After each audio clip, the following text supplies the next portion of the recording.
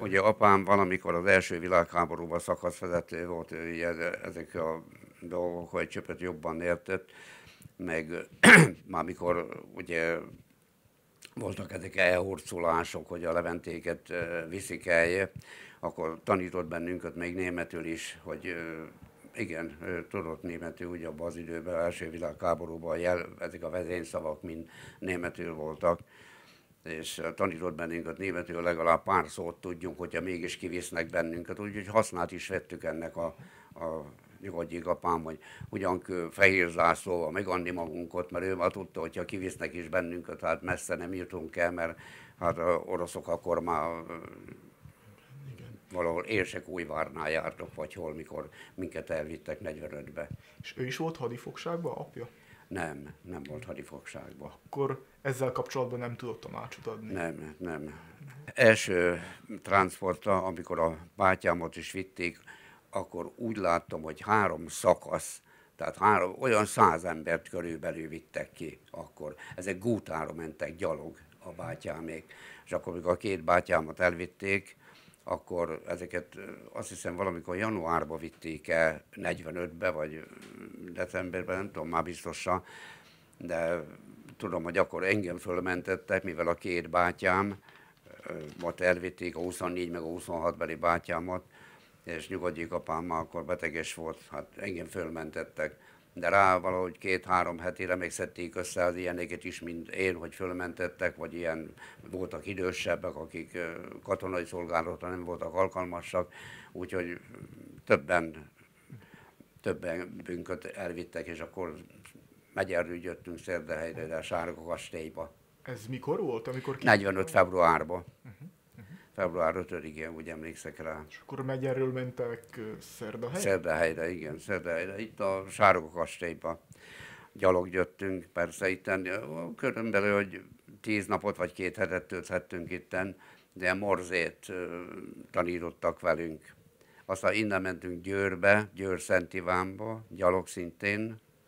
Ott nem voltunk csak talán két napot, az onnan Sopron kőhidáról, az megint gyalog ott is voltunk talán egy hetet, az onnan már aztán még mentünk odáig, egész valami három vagy négy katona kísért bennünket, voltunk olyan húszan, és ezek a katonák egyszer csak mikor a Ausztrálban voltunk, a katonák eltűntek. Egyik napra a másikra eltűntek, úgyhogy magunkra hattak, valami 16-an voltunk ottan, és magunkra hattak bennünket. Jó csupron kőhidán.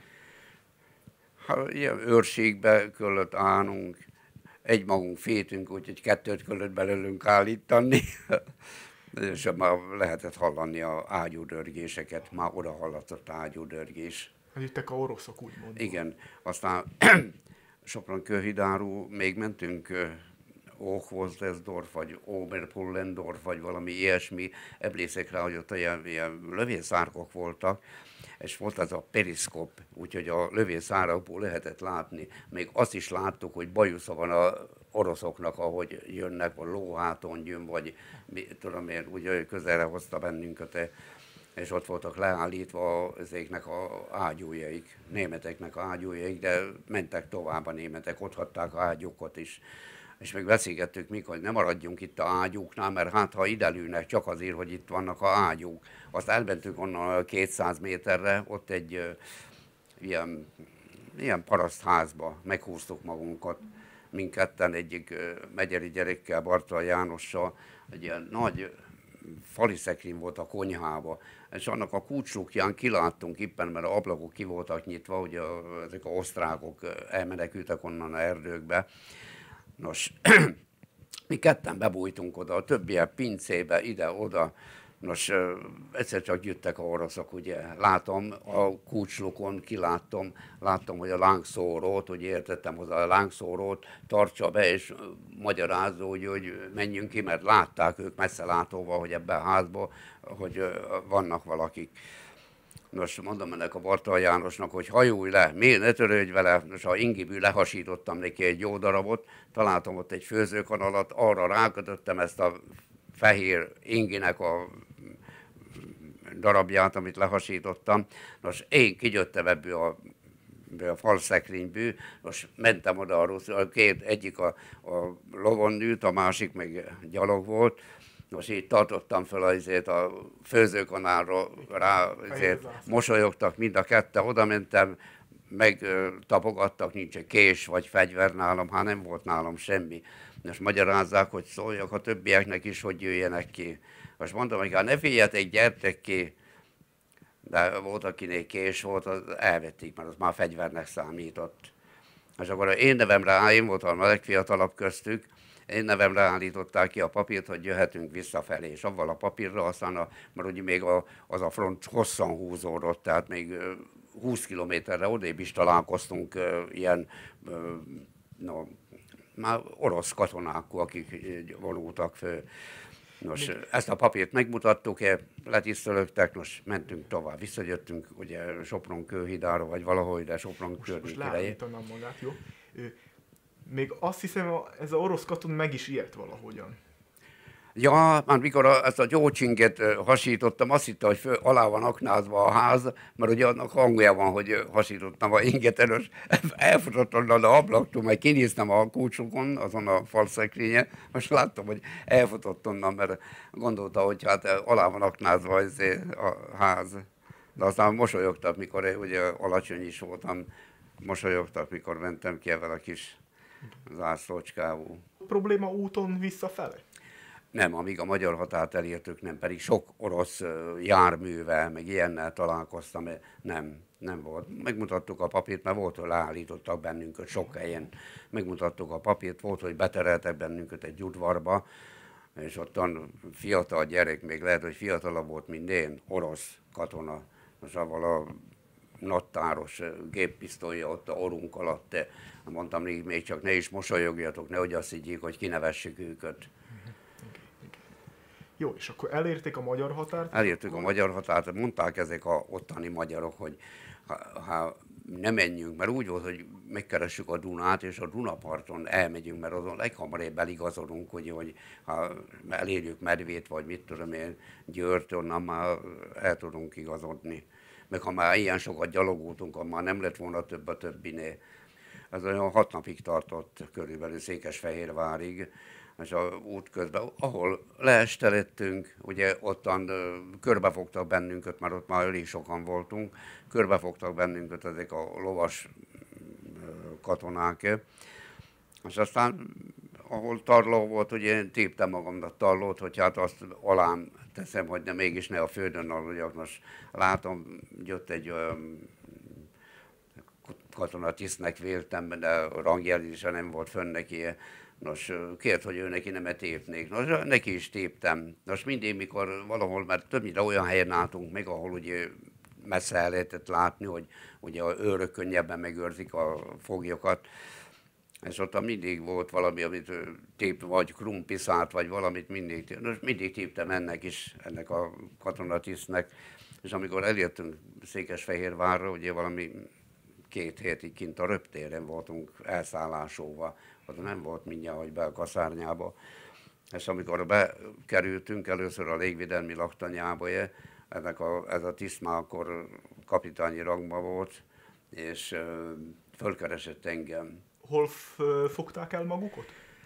Itt Sopron kőhíd a környékén itten jöttünk hazafelé, heléssel betereltek bennünket, hogy ott már az a egy út volt, amelyen nem csak mink jöttünk, mások is jöttek, úgyhogy estére kelve ott már voltunk olyan 150 a bajtába, uh-huh. és akkor másnap már útnak indítottak bennünket. Jó, igen. Jó, milyen volt ez a út? Ez olyan hat napig tartott körülbelül Székesfehérvárig és a út közben, ahol leesteledtünk, ugye ottan körbefogtak bennünket, mert ott már elég sokan voltunk, körbefogtak bennünket ezek a lovas katonák, és aztán ahol tarló volt, ugye én téptem magamnak tarlót, hogy hát azt alám teszem, hogy ne mégis ne a földön aludjak. Most látom, jött egy olyan katonatisztnek véltem, de a rangjelzése nem volt fönn neki, Nos, kért, hogy ő neki nem tépnék. Nos, neki is téptem. Nos, mindig, mikor valahol, mert többnyire olyan helyen álltunk meg, ahol ugye messze el lehetett látni, hogy ugye a őrök könnyebben megőrzik a foglyokat, és ott mindig volt valami, amit tép, vagy krumpiszát, vagy valamit mindig, mindig téptem ennek is, ennek a katonatisztnek, és amikor eljöttünk Székesfehérvárra, ugye valami két hétig kint a röptéren voltunk elszállásolva, az nem volt mindjárt, hogy be a kaszárnyába. És amikor bekerültünk először a légvédelmi laktanyába, ennek a, ez a tiszt már akkor kapitányi rangban volt, és fölkeresett engem, beajánlott a ruszki tiszteknek, hogy kérdezte, hogy ugye mivel foglalkoztam ott, hát mondom, nincsen semmilyen szakmám kitanulva, Hát mondom, borbékodtam otthon, mondom, a apámot, meg a bátyáimot, én, hú, azt mondja, itt, éppen borbéra van szükség. Most bemutatott az egyik ilyen, ennek a lágerparancsnoknak, a orosznak, hogy hát ez izé, hogy borbély. Még ezt a szót sohasem felejtettem, mert azóta se a, a, ez a orosz tiszt mondja, hogy parikmakerszkája, az oroszó borbét jelent mindjárt, hogy őt borotváljon meg, meg akar győződni róla tényleg, ugye adatta ezt a, ezt a amit a borotvát fenyik, mert úgy fentem a borotvát, hogy nem fért két csík hozzá, hogy ez parikmakerszkája. Megborotváltam, tehát megtapogatta a vállamot, mologyót, kaptam ilyen borbé főszerelést, és, és akkor már csöpöt jobb ellátásba is részesültem, meg így tudtam értesíteni a szülőköt is, hogy hol vagyok, meg egyáltalán meg vagyok, úgyhogy rá egy hetire nyugodjék apám, a bátyám, meg egyik nővérem jöttek utánam. Úgy tisztálkodtunk, hogy föl volt állítva egy ilyen, ilyen maningotka-szerű valami, és azon keresztül kellett menni. Úgyhogy a, a hacukát le kellett vetni, ezt legyen keresztül menni rajta, és a, mikor végigment rajta illető, akkor ott a fővette a ruhátos magára vette. Aha, aha. Ez volt a tisztálkodás. Latrinák voltak ott? Vagy volt, majd körül voltunk Árkóval, Latrinánkó. Ezek voltak a védőbástyák. Úgyhogy olyan deszka volt rátéve, és hát azon végeztük a kis dolgokat, meg a nagy dolgokat. És még említett valami ilyet, hogy maga sohasem dohányzott. Ja, igen. Ugye, mikor bekerültünk az ébe, bekerültünk a lágerba, akkor még volt pénz is a jó népnek, még a cigaretta is. Nos, láttam, hogy mikor már fottán volt a cigaretta, hogy a illető csak nem egész nap ennivalóját adott egy cigarettáért, akkor megfogadtam, hogy sohasem fogok rázokni a dohányzásról. Pedig nyugodjék apám, a 15 beli bátyám, a 24 beli bátyám, a 26 beli bátyám, a 30 beli öcsém mind dohányoztak, én nem szoktam rá. Jó, röptér után oda a laktanyába mentek. A légvédelmi laktanyába. Ott, ott mi, mi, mi volt ott? Mi volt ott? Hát az is szét volt bombázva, és emlékszek rá, hogy minket a padláson, hogy hívják, útak el, szállásoltak el, úgyhogy kiláttuk, a, a eget láttuk, mert be volt, éve be volt törve, hát, ott ért bennünket a, a háború vége, május 9-e. És akkor ott a, ugye a Örige elsősorban mentem oda, és hát énekülték a internacionálét, hát nem volt probléma, mert hát azt uh, ismertük, ugye. Nos, hát próbáltam én is énekülni, és egyik uh, orosz főfigyelte, hogy hát nem csak a szám jár, hanem ez a főhét oda, amikor vége volt ugye ennek a ünnepségnek. Nos, hogy éneküljem el ő neki is. Hát ahogyan tudtam, elénekültem neki, megtapogatta a vállamat. Jó, ebből is volt valami hasznom a szébe. Igen. És a, csak magyarok voltak a, ott a fogságban, Székesfehérváron? Micsodák? Csak magyarok voltak ott? Nem, nem csak magyarok, nem csak magyarok nem csak magyarok, németek is voltak, meg ezek a ukrán vlaszovcik, ezeket, akik ugye mikor a németek bevonultak Ukrajnába, akkor ezeket a fiatalokat ottan besorozták, és német egyenruhában voltak, uh-huh. de oroszul már, ukránul beszéltek, hogy nem is értettük őket.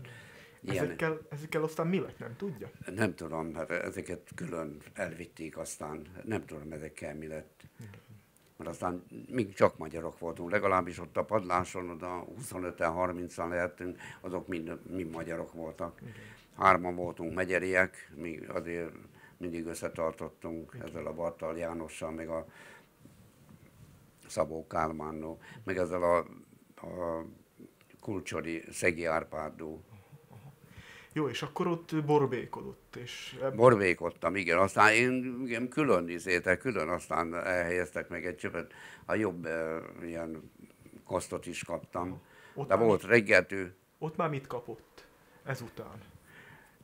Ott már volt, nem csak egy, egyszer kaptam enni valót, hanem mentem a ruszkikkal ezekkel a, a őrökkel együtt, azokkal együtt kosztultam. Őrököt kellett nyírni, borotválni, És hogyan jutottál oda a Szentgyörgy kórházba? Hát helyeztek bennünket. Hát, itt is nem tudom, hogy kik maradtak itt, kik se, de tudom, hogy jó párunkat átvittek oda, több százunk. Ott is minnyire a padláson voltunk el szállásóva.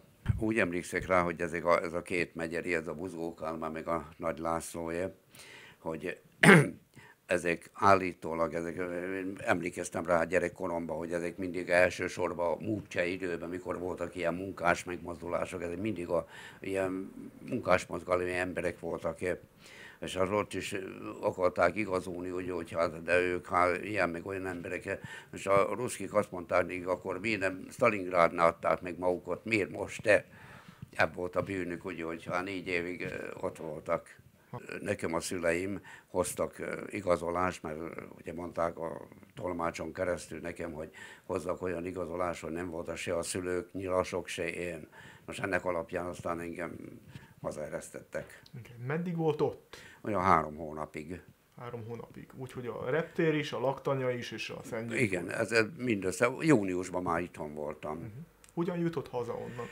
Székesfehérvárról a vonat egy nap egyszer ment ott is a vagon tetején voltam, vagon tetején tudtam helyet biztosítani magamnak, onnan Budapestre, Kelemföldre mentünk. De mondták itt ezek a oroszok, hogy akik a papírt kiállították nekem, hogy a vasútállomáson bélyegeztessem le. Ez a Kelemföld ott, Székesfehérváron nem kellett, mert ott nem is tudom milyen vagonokban, csak tudom vagon tetején voltam és ott a Kelemföldön mentem oda a jegykiadóhoz, most mondtam neki, legyen szíves, bélyegezze nekem ezt a papírt, mert azt mondták a fogolytábor, hogy azt mondja, ki tudja ezt a hottent ott a nyelven írt papírt elolvasni, nem, nem bélyegezte le nekem. Láttam odébb áll egy orosz tiszte, mutatom neki a papírt, letisztölög nekem.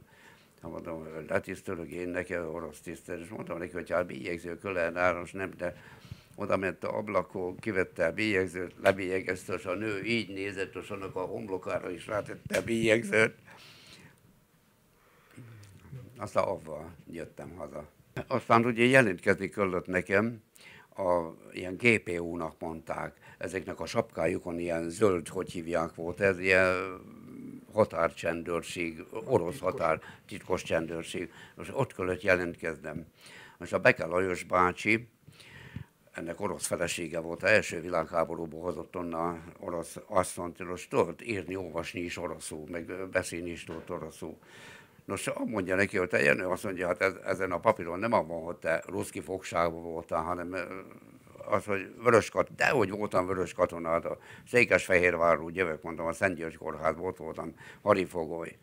Bemegyünk, ugye, mutassa a papírt orosznak, az is föláll, most letisztölök, hát mondom, ennek már egyharmada se tréfa. Hogyan fogadták magát otthon? Otthon, hát igen, örültek neki.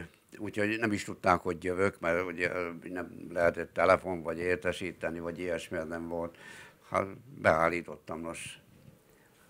Persze, hogy örült az egész család neki. Mit üzenne a utókornak? Azt, hogy ne legyen háború. Jobban viseljék el egymást az emberek mert azért ott a lágerben megfigyeltem, hogy a németek, a, nem ezek a Vlaszovcik, ezek a ukrán németek, hanem a rendes német katonák, hogy azok olyan csöndesen beszéltek, tehát fétek még a magyaroktól is, olyan csöndesen beszéltek, hogy nem lehetett hallani őket. És a magyarok bizony kevésbé voltak olyan összetartók.